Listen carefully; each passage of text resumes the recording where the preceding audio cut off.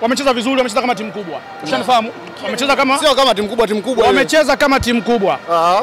Katika Tanzania kuna timu mbili kubwa, Simba na Yanga. Ushanifahamu?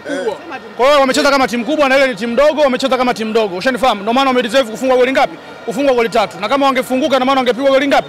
Goli nyingi. Wewe Kwa nne. Mkia kama mkia wataendelea kuwafunga wao. Wewe ulikupiga nne. Mimi sijakupiga. Umenipiga wapi? Sawa. Mimi? Wewe utaisha kuwafunga hawa. Wewe utaisha kuwafunga hawa. Tunawakera, tunajua kuwakera. Piga hizi tunawakera. Basi kwanza. Au niwache muongee? Poa, endelea kuongea. Ushanifahamu? Kwa timu Simba wamecheza vizuri, wamepata ushindi. Gwambina wamecheza vibaya, wamecheza kudeserve, kudeserve, kudeserve, kama kulifence. Wameshona usiku, wamefunga goli tatu. Kwa timu kama Simba wamecheza vizuri, nani Gwambina wamecheza kwa sababu wamepoteza kabuni mechi tatu. Na hii pamoja mechi ya leo. Kwa hiyo wamecheza kama timu ndogo, wamedeserve kufungwa na katika uwanja huu ukicheza vibaya lazima utafanyaje? Utafungwa. Simba wana wachezaji wazuri. Ushanifahamu?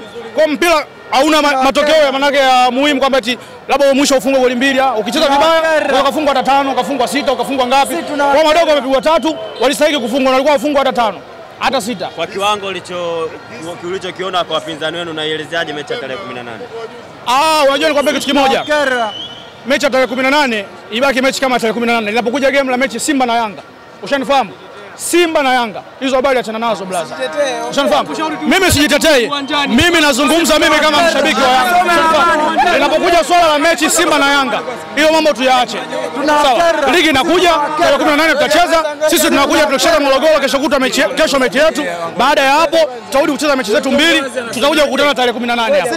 Tutacheza mpira wetu na wao Simba watacheza mpira wao. Matokeo tutajua atakavyokuwa. Timu ni nayo nzuri.